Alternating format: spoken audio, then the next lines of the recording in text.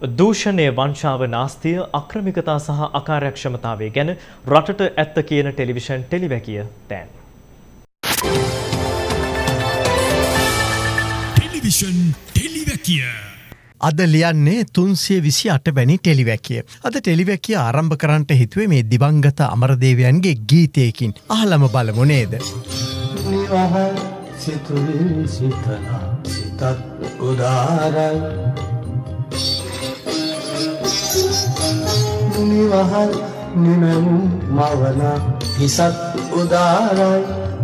ඒ කියන්නේ නිවහල් සිතුවිලි සිතනා සිතත් උදාරයි. නිවහල් නිමැවුම් මවනා හිසත් උදාරයි නේද. දැන් ඇත්තටම අපි රටවැසියන් ලෙස රට ඇතුළේ ඒකැන මේ අභ්‍යන්තරිකව නිදහස් නිවහල් උදාර ජාතියක්ද. ඉළඟට අපි රටක් ලෙස ඇත්තටම නිවහල් නිදහස් උදාර ජාතියක්ද නේද. මේ ප්‍රශ්න දෙකටම ඇත්තටම උත්තර කතා කරන්ටම ඕනේ මේ ප්‍රශ්න දෙකම යථාර්ථවාදීව සා සාකච්ඡාවට ලක් කළ යුතුමයි. අද දවස ඉටහරි අපූරුයි. ඒ කාරණා දෙකක් නිසයි. එකක් මේ අනුප්‍රාප්තික ජනාධිපති ඒ ඇනේ රනිල් වික්‍රමසිංහ ජනපතිකමට පත්කරගෙන අවුරුද්දයි නේද. දෙක තමයි ජනපති රනිල් දැන් ඉන්නේ ඉන්දියාවේ. මේ කාරණා දෙකම එක් මේ නිවහල් නිදහස් ස්වෛරී කියන වචන සම්බන්ධයි. හොඳේ ස්වෛරී බවට මේ ඉංග්‍රීසියෙන් කියන්නේ සවරෙන්ට් කියලා. නේද.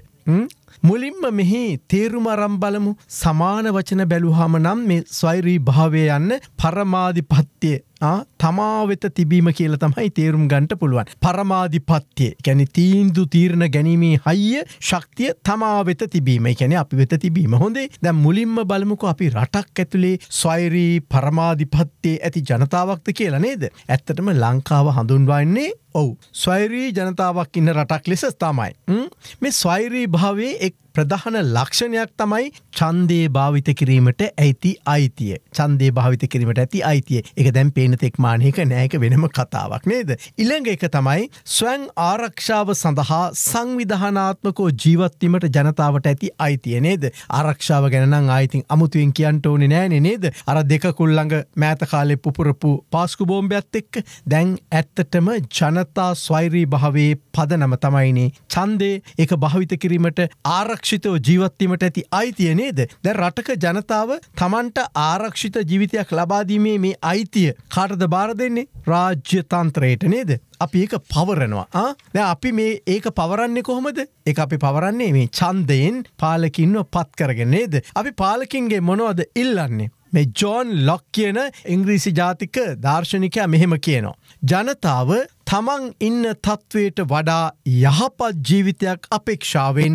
රාජ්‍යතන්ත්‍රයට පැවරීමක් කරනවා කියලා. හොඳට තේරුම් ගන්න ජනතාව තමන් ඉන්න තත්ත්වයට වඩා යහපත් ජීවිතයක් අපේක්ෂාවෙන් රාජ්‍යතන්ත්‍රයට පැවරීමක් කරනවා කියලා. මදෑ දැන් ඉතින් අපි අවුරුදු හැත්ත පහක් තිස්සෙම පැවරුවන මේ උන්දලට නේද. මොනවද අපිට තිබුණට වඩා වැඩියෙන් ලැබුණු හොඳ ජීවිතය මොනවද අපිට ලැබුණු අපේ තිබුණට වඩා හොඳ කරපු අපේක්ෂාවන් හිතල බලන්න. ඒ කියන්නේ ජනතා ජනතාවගේ ස්වෛරි භාවේ ස්වෛරිත්වයේ නිදහස පරමාධිපත්තිය රැකීම අර අප විසින් පත්කරන නියෝජිතයන්ට අපි පවරලා තියෙන්නේ. හරිද පවරලා තියෙන්නේ හොඳේ මෙහිදී මන්ත්‍රීවරයා ආණ්ඩුවේ වුණත් විරුද්ධ පක්ෂය වුණත් ජනතාවගේ ස්වෛරීත්වය ස්වෛරී භාවේ රකින්ට බැඳී සිටිනවා. ඒ සඳහා තමයි ඔය ව්‍යවස්ථාව නිර්මාණය වෙන්නේ. දැන් අපි ඉන්න මොන ව්‍යවස්ථාවයට දෙද හැත්තාටේ ව්‍යවස්ථාව ඇතුළේ හරිද ඇත්තටම හැත්තාටේ විවස්ථාව බුද්ධිමත්ව කියවන්ට. අද අධ්‍යයනය කරන්න. එතකොට ඔබට තේරේවී මේ හැත්තාටේ ආණ්ඩුක්‍රම ව්‍යවස්ථාව හදලත් තියෙන්නෙම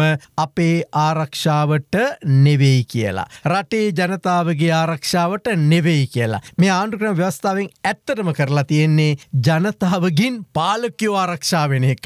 මොකදද ජනතාවගෙන් පාලකයෝ ආරක්ෂාවෙන්ට තමයි ඒ උන්දල ඔය සැරෙන් සැරේට මේ එක එක ජාතිය නීති අනපනත් ඕවගේන්නේ තරද අපෙන් ආරක්ෂාවෙන්ට කොහොමේ වැඩේ නේද? පාලකින් හිතාන ඉන්නවා අපි චන්දයෙන් එයාලව පත් කරලා ඉවර වෙලා අපේ ස්වෛරී භාවේ අපේ පරමාධිපත්තිය ඉළඟ චන්දය දක්වා ඒ උන්දලට සම්පූර්ණයෙන්ම පවරලා බලයදීලා ලියලදීලා තියෙන්නේ කියලා හරිද. ඒ නිසා ආයේ චන්දයක් එනකං අර පස් අවුරුද්ධෙම එයාලට කැමති දේවල් කැමති ආකාරයට කරන්ට පුළුවන් කියල තමයි මේ ව්‍යවස්ථාදායකය හිතාගෙන ඉන්නේ හරිද එකට හොඳම උදාහරණය තමයි ස්වෛරී රටක ප්‍රධාන සාධකයක් වනුවේ නීතිය මත පාලනේ. නමුත් ලංකාව තුළ ක්‍රියාත්මක වෙන්නේ එක්දහස් නමසය හැත්තටේ ව්‍යවස්ථාව.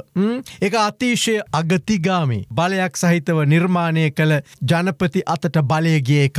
විදාහයක ජනපතිට කැමති හිතුවක් කාර් පාලනයකට ඉඩ ලැබිල තියෙනවා. කොටින්ම විදාහයක ජනපති ක්‍රමයට අපේ රට නතුූදා සිට ඇත්තටම අපේ ජනතාවට රටක් ඇතුළේ ස්වෛරී භාවේ බුක්තිවිදීමේ අයිතිය නැතුව ගියා කියලා මතකතියාගන්න. එක තේරෙන්නේ නැතුව ඇති ඒක තමයි මේ වෙලා තියෙන්නේ. ජනපතිට කැමති දේවල් විකුණන්න. ජනපතිට කැමති දේවල් කියන්න. ජනපතිට කැමති දේවල් කරන්න. හරද මොන තරම් වැරදි වුණත් අර තිස් පහ එක යටතේ මුක්තියක් දීලා තියෙනවා අධිකරණයට ගේන්න බැරි. හරිද? එනිසා ඇත්තටම මේ අපි ජීවත්වෙන්නේ ස්වෛරී මිනිසුන් ලෙස නෙමේ අපි ජීවත්වෙන්නේ විදායක ජනාධිපති යටතේ. අප අපගෙන්ම දැන් ප්‍රශ්න කළ යුතුයි. යළි චන්දයක් එනකන් අප අපගේ ස්වෛරී භාවේ ස්වෛරීත්වය අපගේ පරමාධිපත්තිය නේද මේ පවරලා තියෙන්නේ? හරිද?